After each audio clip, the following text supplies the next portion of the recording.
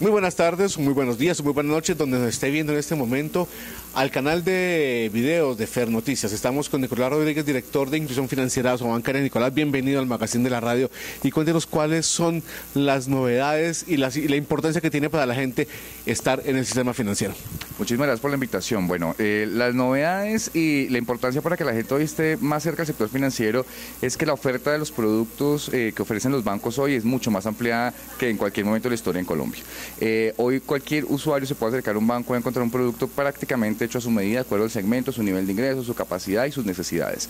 Que la invitación que nosotros damos desde su bancaria es para que los usuarios se acerquen a sus bancos o, o acerquen a, la oficina más cercana que tengan, el corresponsal bancario, y revisen el portafolio de productos. De esa manera, ojalá empiecen con un producto de ahorro para que de esa manera puedan graduarse y llegar a tener un producto de crédito del sector financiero.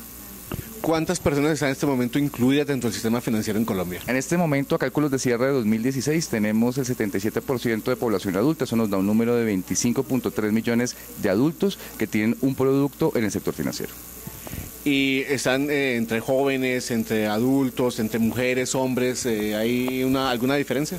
No, en el momento nosotros no tenemos la segmentación específica del dato, es algo en lo que estamos trabajando, inclusive desde su bancaria nos interesa mucho esa pregunta que usted nos, nos acaba de hacer, eh, queremos verlo por género, por ejemplo, por municipio y por región, y en eso estamos invirtiendo importantes recursos para poder tener esos datos lo más pronto posible. En el sector campesino, el sector agrario, que es uno de los más, digamos, alejados de la banca, tienen los corresponsales y de pronto tiene oficinas lejanas a su sitio.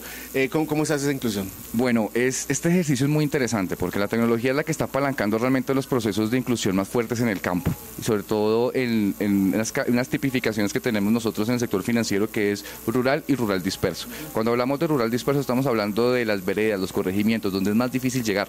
Eh, para esto, la tecnología hoy, a través de distintas entidades, nos ofrecen productos de trámite simplificado, depósitos electrónicos y cuentas eh, de ahorro de trámite simplificado. Estas cuentas ustedes las pueden abrir simplemente ingresando su celular, entrando a una aplicación o a través de la tecnología de, de SMS y simplemente llenando tres datos que están en la cédula de cada uno de nosotros. Con esos datos, inmediatamente la persona ya tiene un producto de ahorro disponible y abierto. No tiene que desplazarse hasta la sucursal, no tiene que irse tres o cuatro horas hasta el municipio, la cabecera municipal. Usted lo puede abrir desde su casa. ¿Qué es lo que nos interesa a nosotros desde el sector financiero? Contar con una red de telecomunicaciones de calidad. Y aquí es donde nosotros, por eso, eh, últimamente, más que nunca hemos hablado con el Ministerio de Telecomunicaciones para poder garantizar el acceso completo y la calidad en servicio de comunicaciones, porque si no, lo contrario, los esfuerzos que están haciendo los bancos, pues se verían claramente disminuidos si no tenemos una red universal y una red de calidad.